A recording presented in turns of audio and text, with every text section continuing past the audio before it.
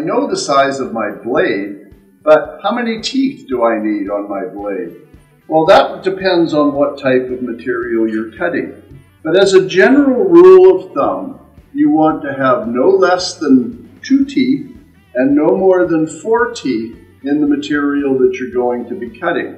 So for instance, this piece of half inch melamine here, if you look at this, I will have just over two teeth in the work. What that will do is give me a nice smooth cut. If I have too many teeth, as if I was cutting this piece of 2x4 and the melamine, you can see I've got one, two, three, four, five, six, seven teeth in the work. What's going to happen here is it will cut very slowly and tend to burn.